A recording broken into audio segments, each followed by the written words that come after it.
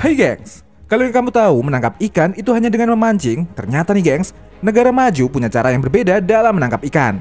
Mereka nggak cuma pakai alat canggih, tapi juga dengan alat yang super besar. Penasaran seperti apa? Yuk simak!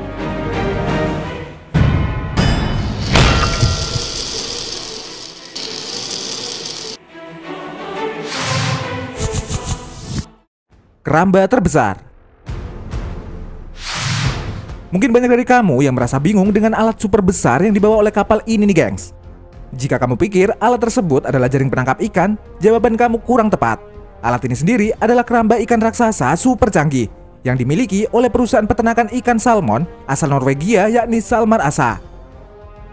Keramba raksasa ini diberi nama Ocean Farm 1. Ocean Farm 1 memiliki tinggi 68 meter, diameter 110 meter, dengan berat mencapai 7.700 ton serta mampu menampung volume air sebanyak 250.000 meter kubik.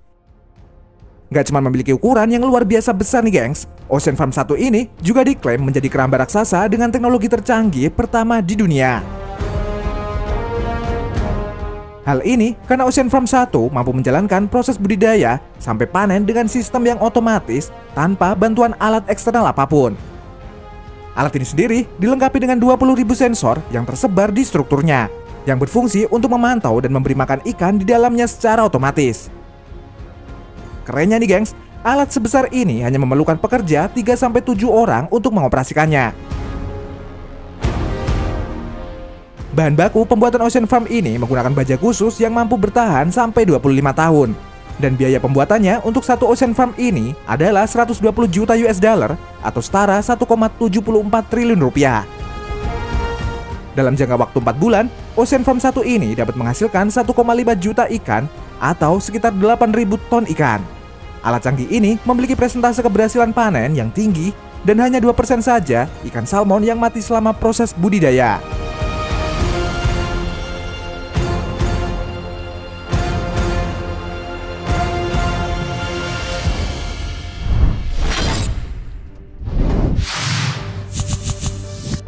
Jaring raksasa Tingginya permintaan produk makanan olahan dari ikan membuat para distributor berusaha keras dalam kesediaan bahan dasar tersebut nih gengs. Karena itulah beberapa perusahaan penangkapan ikan menggunakan jaring yang terbilang raksasa.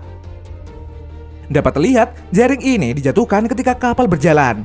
Jaring ini juga dilengkapi dengan pemberat yang membuatnya akan langsung masuk ke dalam air. Barulah selanjutnya jaring ini ditarik otomatis menggunakan mesin. Dan hasilnya bisa kamu lihat nih gengs. Bertonton ikan berhasil ditangkap dan dimasukkan ke dalam kapal.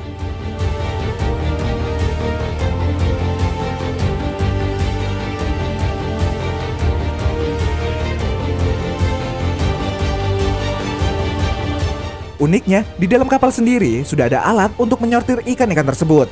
Terlihat para pekerja menyortir ikan yang kemudian akan masuk ke alat pemotong untuk memisahkan ekor dan kepala ikan.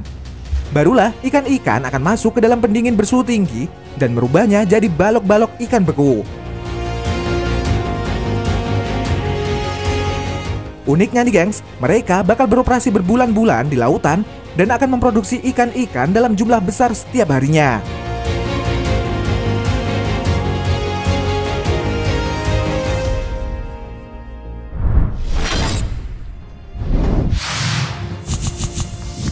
Penangkapan udang. Gak cuma ikan aja nih gengs, perusahaan Royal Greenland dengan kapal besarnya mampu menangkap 10 ton udang per hari. Mereka menangkap udang-udang ini dari Laut Atlantik. Sama seperti proses penangkapan ikan, kapal ini dilengkapi dengan sensor canggih yang akan mendeteksi keberadaan kawanan udang. Setelah mereka menemukan spot yang mereka cari, kapal ini akan menurunkan jaring khusus yang sudah dilengkapi pemberat. Jaring ini memiliki panjang ratusan meter dan mampu menangkap bertonton udang.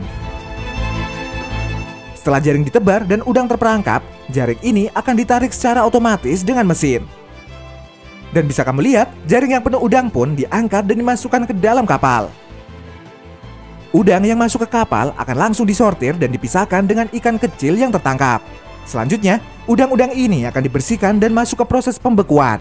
Dengan alat khusus, udang-udang ini diubah menjadi balok udang beku yang akhirnya dipacking dan disimpan.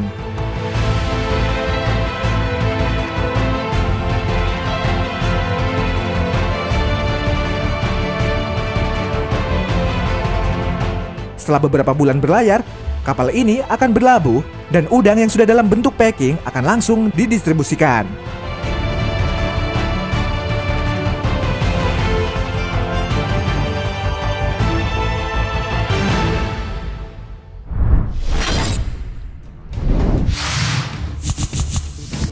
Penangkapan kepiting Selain udang dan ikan, ada juga kapal yang khusus menangkap kepiting nih gengs. Tidak menggunakan jaring seperti menangkap ikan, kapal ini justru menggunakan kotak perangkap yang terbuat dari besi.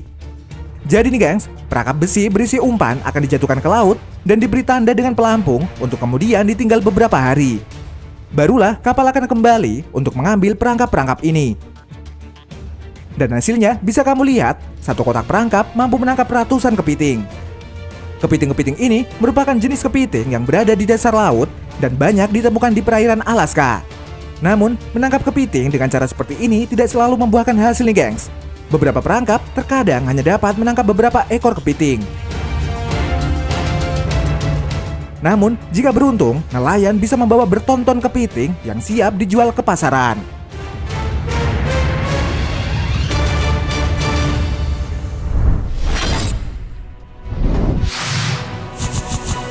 Kail pancing otomatis. Kalau mancing dengan kail biasa sih paling dapetnya cuma beberapa ikan nih gengs. Nah sekarang coba kamu lihat alat pancing yang satu ini. Alat ini merupakan alat pancing otomatis untuk menangkap ikan tenggiri. Alat pancing otomatis ini mempunyai benang sepanjang ratusan meter dan ada banyak sekali kail pancing di setiap jarak tertentu. Awalnya, benang panjang yang penuh dengan kail ini akan dipersiapkan terlebih dahulu sebelum dimasukkan ke dalam laut. Setelah persiapan selesai, benang ini akan dimasukkan ke laut bersamaan dengan penebaran umpan. Begitu umpan ditebar dan ikan-ikan sudah banyak yang terpancing, maka alat ini akan otomatis menggulung benang tersebut ke dalam kapal.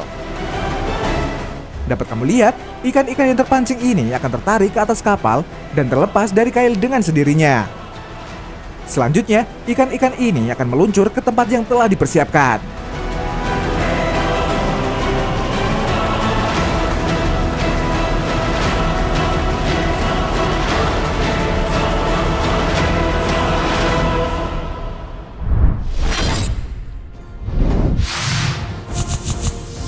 Jebakan bambu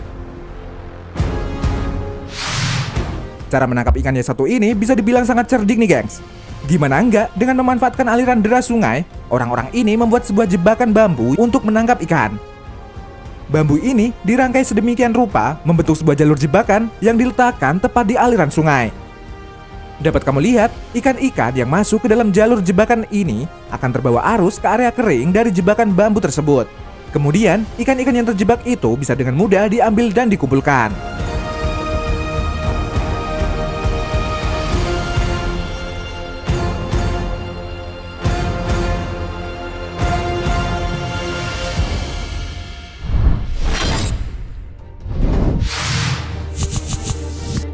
Dikepung oleh kapal.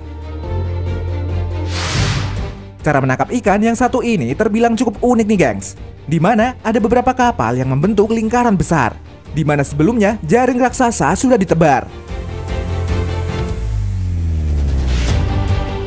Kemudian, kapal-kapal ini sedikit demi sedikit merapatkan lingkaran sambil menarik jaring raksasa tersebut. Setelah lingkaran kapal ini merapat, dapat terlihat kumpulan ikan tuna besar muncul ke permukaan.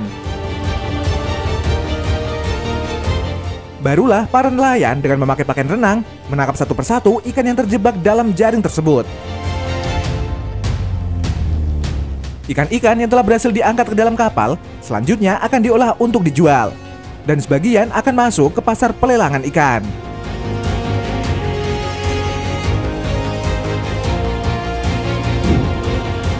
Nah, itu tadi teknologi penangkapan ikan paling canggih.